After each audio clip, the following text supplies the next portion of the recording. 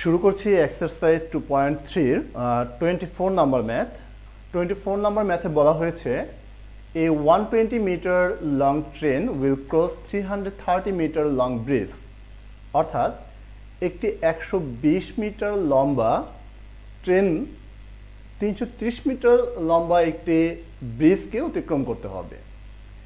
If the speed of the train is thirty kilometre per hour যদি ট্রেনটি speed প্রতি ঘন্টায় থার্টি কিলোমিটার হয়। How much time will the train need to cross the bridge তাহলে ব্রিজটা cross করার জন্য ট্রেনটির কত মিনিট সময় লাগবে বা কতক্ষণ সময় লাগবে?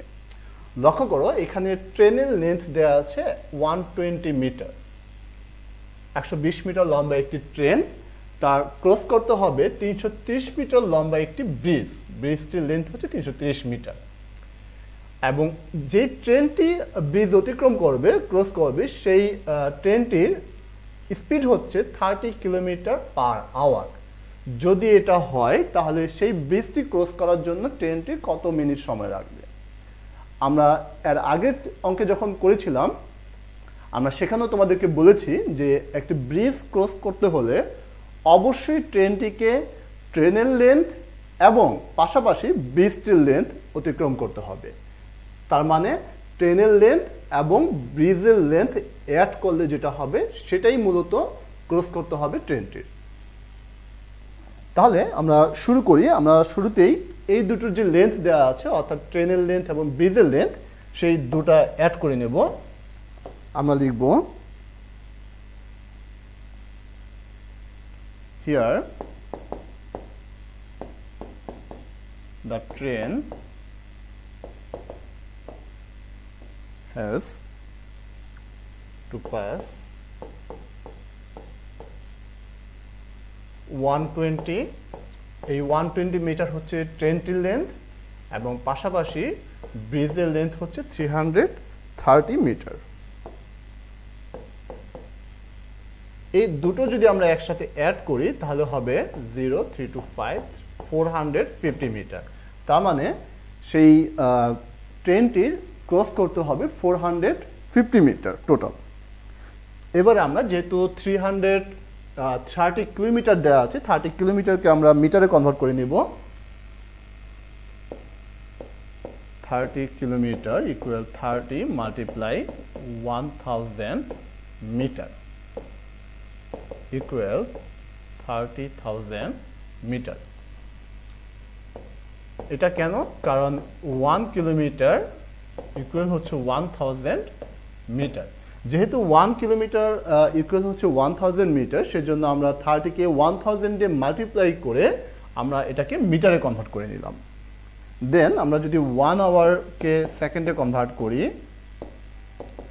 ওয়ান আওয়ার মানে হচ্ছে সিক্সটি মিনিটস সিক্সটি মিনিটসকে যদি আবার আমরা সেকেন্ডে কনভার্ট করি, তাহলে হবে সিক্সটি মাল্টিপ্লাই সিক্সটি সেকেন্ড তার মানে হচ্ছে thirty six hundred second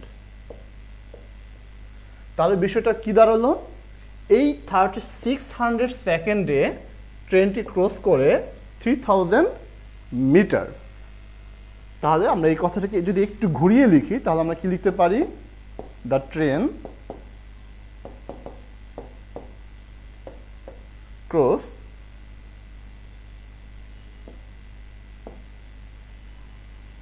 30,000 meter in 36 seconds. Therefore, the train crossed 1 meter in 1 metre যেতে তার অবশ্যই সময় কম লাগবে সেজন্য আমরা থার্টি সিক্স হান্ড্রেডকে থার্টি থাউজেন্ড দিয়ে ডিভাইড করব।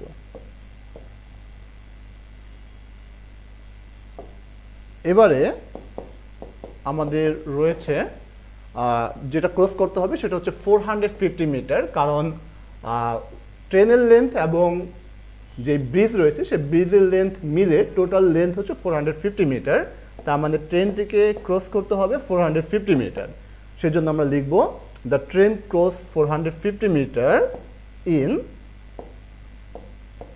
3600 multiply 450 divided by 30000 seconds.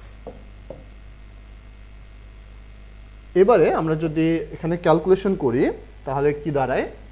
এখানে দুটো জিরো দুটো জিরো ক্রস এখানে একটি জিরো এখানে একটি জিরো ক্রস এবার যদি আমরা ফিফটিন দিয়ে ডিভাইড দিই ফিফটিন দিয়ে থার্টিকে ডিভাইড দিলে টু ফিফটিন দিয়ে ফর্টি ফাইভকে ডিভাইড দিলে থ্রি টু দিয়ে যদি থার্টি সিক্সকে ডিভাইড দিই, তাহলে এইটিন এইটিন ইন্টু থ্রি হলো ফিফটি ফোর সেকেন্ডস তাহলে এই ট্রেনটির সময় লাগবে হচ্ছে ফিফটি ফোর সেকেন্ডস আমরা লিখব therefore the train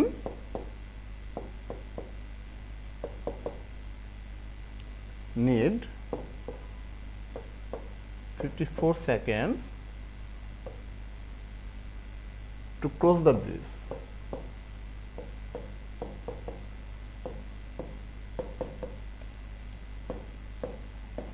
এটি অ্যান্সার